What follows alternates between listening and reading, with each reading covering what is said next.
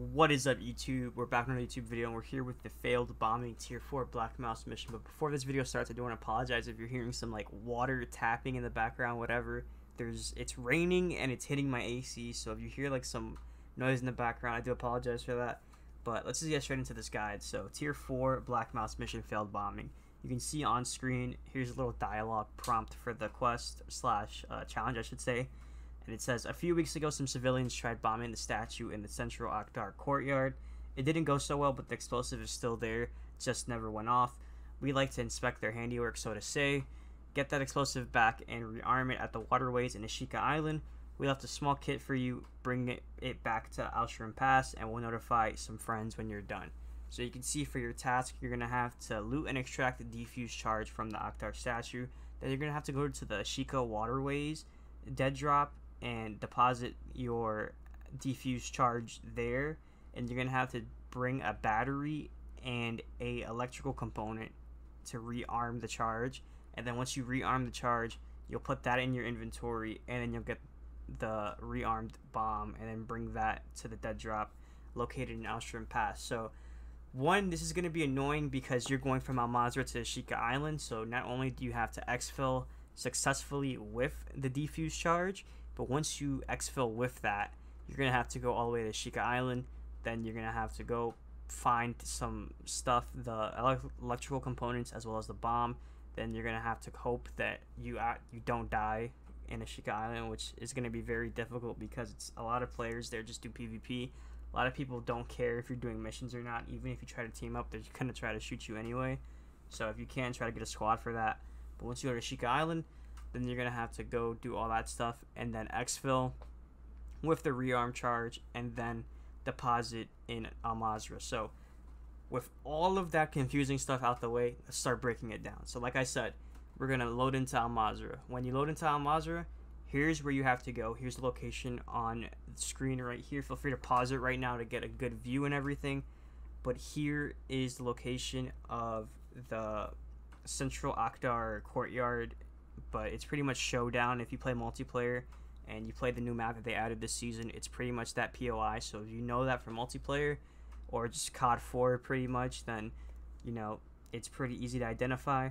But here's the location. So pause it write it down whatever whatever you got to do. Just know where you're where you're going but you spawn into Al Mazrah, go straight over there. So this is me jumping into post-production. You can see uh, I'm about to pick it up, and you can see I said there was going to be armored enemies here, but uh, expect there to be armored enemies. You can see right here I pick up the disarmed charge, but every time I, have came here there was armored enemies. This one time I came here and there was no enemies, and this is when I was recording. I forgot to record my other time when I died with the bomb, and I had to go, I had to go get it again. So I do apologize, but you can see that's the location you got to go to. Uh, hopefully, you know you're not too confused by that, but just if you get there and there's enemies, kill all the enemies and then pick up the bomb, and you should be fine. So now that you've obtained that charge, make sure you exfil with that and bring that over to Shika Island. By the way, this is what it's going to look like when it's in your inventory. You're going to see this little blue uh, background with a bomb icon in your inventory. So that's how you know you still have it. Try not to die with it because if you die, you're going to end up losing it, obviously, and you're going to have to restart. So again, just make sure you exfil and then load into Shika Island. So you can see we're in Ashika Island. Now what I recommend doing is just looting like you're seeing in the background this is pretty much all I was doing. You can see I found my electrical components right there. But you're also going to need to find a battery. So very quickly, here's on the screen what a battery looks like.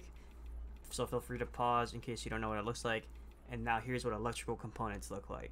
So again, feel free to pause just so you can get a good look at it. But now, once you have found both of them, wherever you find them, I will show you a picture here. I have found one spot where I found both electrical components and a battery inside of a toolbox, but that was just one time. And I feel like this is just so random. Like, do not depend on this. I will say that right now. Um, you can feel free to check this spot. Here's the little, you know, image, like I said, and where you can find it. But again, it's probably like a one in a thousand chance of you finding both uh, items inside. But once you find those items, however you do, by just looting and scavenging, make your way down to the waterways. Now, there's a number of different ways you can go. Uh, however you go, just know that it's underneath the castle. And obviously, there's the tunnels, there's the zip lines, there's a bunch of different ways to get there.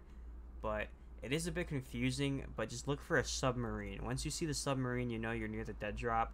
Here in the gameplay, you can see I'm just doing a lot of running.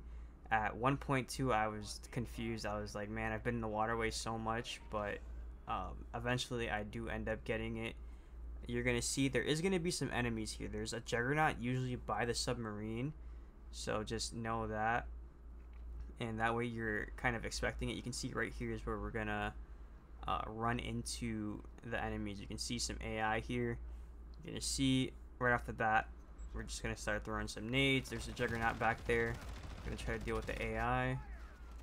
And again, I'm just leaving this here just, just to show you there is AI. I know earlier I mentioned that there's AI in the Al Mazrah portion, but when I spawned in, it just happened not to be there that one time. Here you can see there's a Juggernaut that you got to deal with. I was using some floor loot that I picked up from a squad that was trying to kill us, and it really wasn't that good, but, uh, you know, just make your way through here and kill all the AI, obviously, so, you know, you don't end up dying. And again, feel free to look at the mini map here to see my exact location. The dumpster is pretty much right here, so if you spawn in, you can see the dumpster right there to the left. Just spawn in, mark that. You can see my teammate over here going crazy 316 with a Dragon's Breath shotgun on the AI. You can see battery and electrical components is what I have in my inventory, as well as a disarm charge. Open the dead drop, and then put your components inside, and you can see once you put them, you get the rearm charge. Make sure you put that in your inventory, and now you can go straight for the exfil. Again, this is, this is me trying to show where you can find it on the map. Uh, I didn't zoom in for whatever reason. But again, just know it's underneath the castle. And here what you're going to want to do is go exfil with it in your inventory like I said. And then you'll make your way to Al Mazrah. So you can see we're approaching the area here in Al Mazrah. Obviously spawn in with your charge and everything that you got from Ashika Island. And here's the dead drop.